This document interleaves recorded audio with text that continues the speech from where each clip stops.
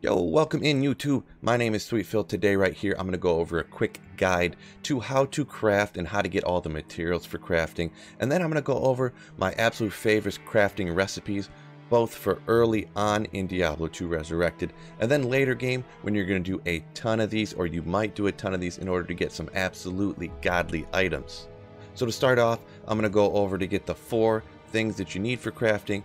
You need a random jewel, you need a gem, you need a particular rune, and you need a particular item or things in order to craft here in Diablo 2 Resurrected. I'm going to go over the first two things together here, the random jewel and the particular gem that you're going to need. They're kind of the easiest to get just finding along the way. Like I said, you just need any random jewel. So you can find these anywhere if you're just following people along with Baal runs. You can grab a jewel that you find in normal and just hang on to it or in nightmare or any difficulty the level of the jewel does not matter. You grab any random jewel. Usually I might keep two or three in my stash just for when I want to go ahead and craft. That way I always have one waiting there for me. Gems are kind of the same way. Obviously maybe you can get some perfect gems or some good flawless from your forges hellforge and nightmare forge or you can kind of just find flawless gems all over the game. Of course, you cube three of those flawless gems together and it'll cube up to a perfect version of that gem. There isn't necessarily any particular place to farm these super great or super way better than any other place, but I mean, I guess Hell Cows and Nightmare Cows are usually a good place to farm for gems if you're really looking for them a lot of times people are just too lazy to even bother picking up gems. So if you're following a chaos game or a Baal game, you can usually just run around and pick them up. And like I said, everyone just leaves them laying around sometimes. Now for the other two things, I'll go over the runes first here. There's a super easy way to get any of these runes. All you have to do is go and kill the Countess time after time after time. Every single time you kill the Countess, she will drop runes. Almost every time, that is. I know there is the rare occasion that she doesn't drop any runes, and that's very disappointing but actually for crafting you can get all of the runes that you need for any of the different recipes from Nightmare Countess or from Hell Countess and you can even get a lot of them from Norm Countess but you can't quite get all of them.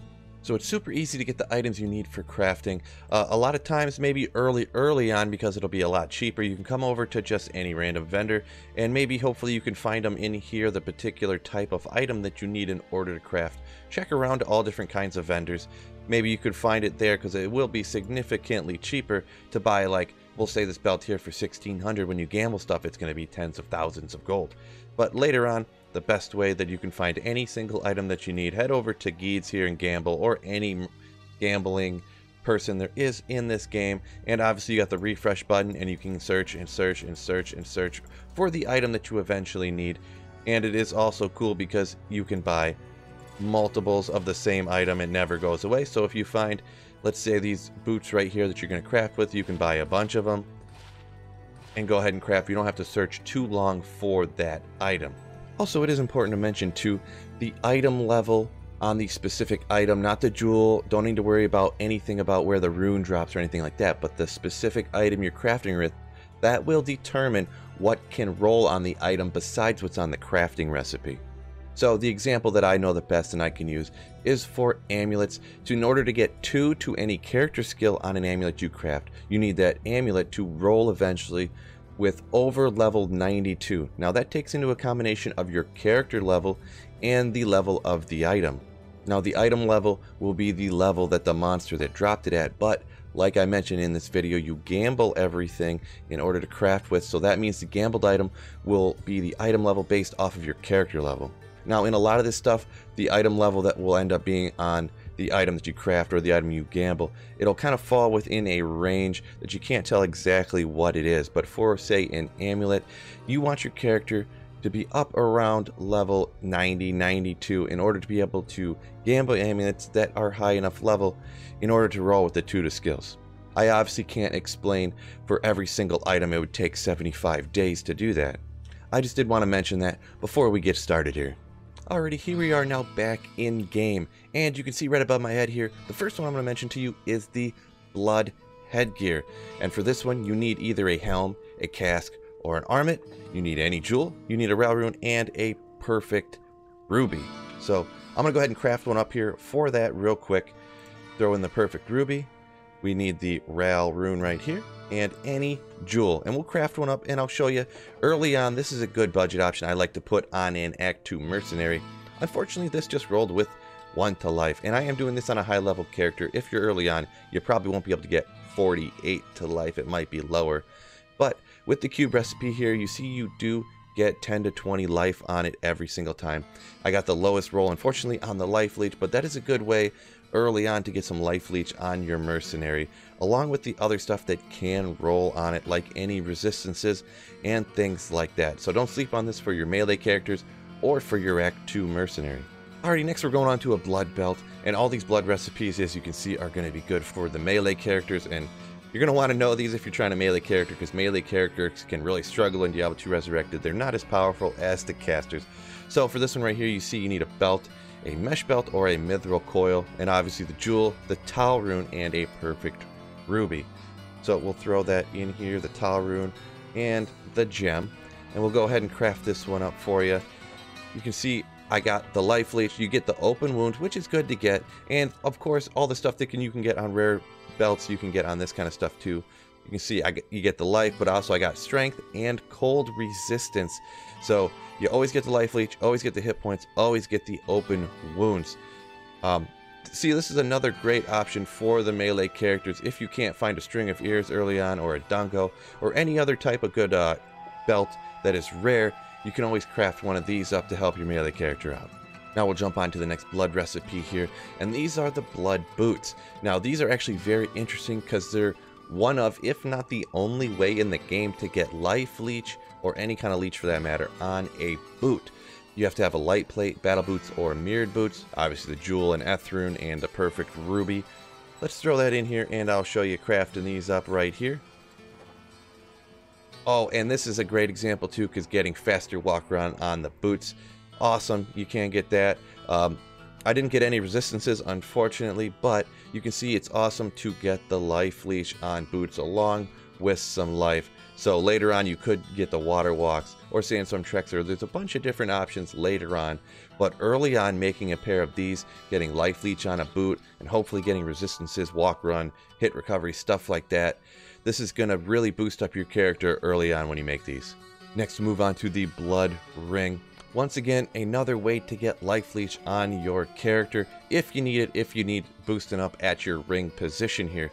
So you need any magic ring. I just went over and gambled one from Gheed's once again. A jewel, a Sol, and a perfect ruby. Toss that in there. Boom. This one's not too bad. 50 to life. Got some strength. It didn't get any resistance resistances, unfortunately. You can get other stuff on this, like faster cast rate, or it could roll with mana leech on it as well, or even more life leech, depending on your character level, obviously. But it's good to get, you know, more strength on this as well.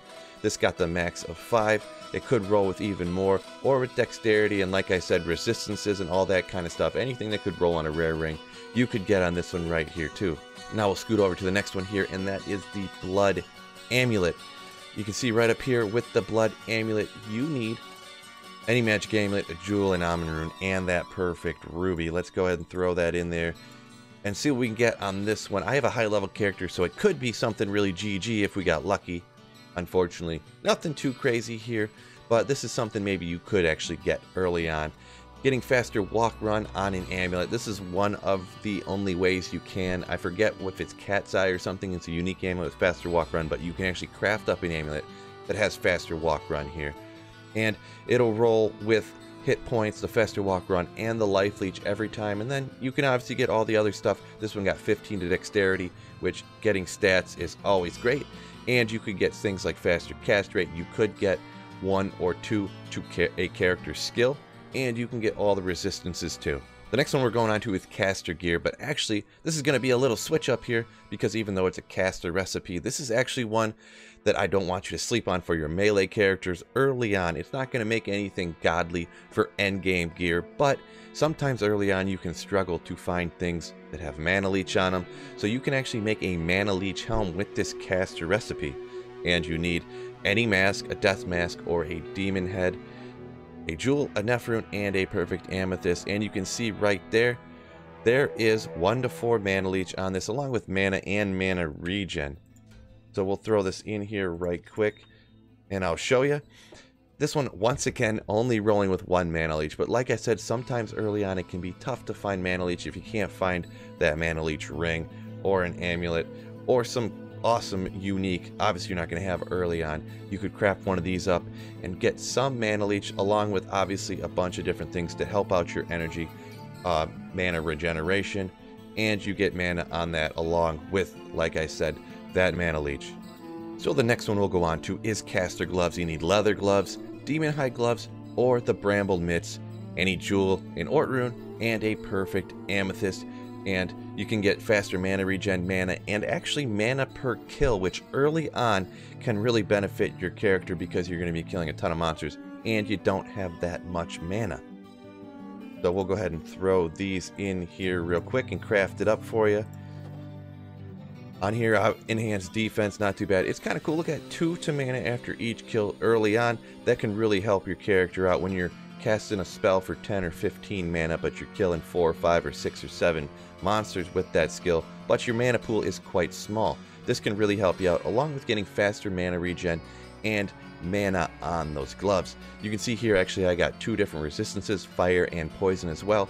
That can obviously help out your character a lot too.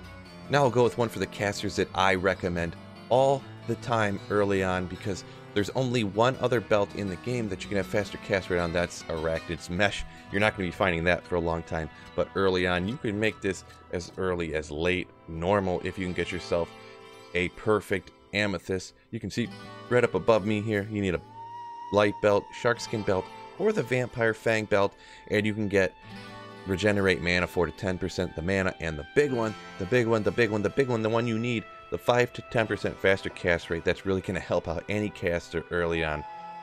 The belt slot early on is going to be real weak for you. I guarantee it. It's tough to find a good option.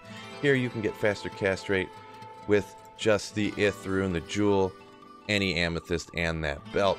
Let's go ahead and craft it up for you, and I'll show you. This one got 6% faster cast rate, and just like all the other stuff that I've said, you can get resistances, even Magic Find or Gold Find here. Uh, you get the mana and the mana regen. You could get some other stuff too, unfortunately I didn't on this one. That's the thing with crafting, you never know how it's going to roll, but getting that faster cast rate early on is going to be game changing for you. So next we'll move on to an absolutely amazing crafting recipe, and if you do enough of these and get lucky enough, this could literally make one of the most powerful items in the entire game I am not exaggerating here. You could hypothetically with this get two to character skill, which you can get if you're a high enough level.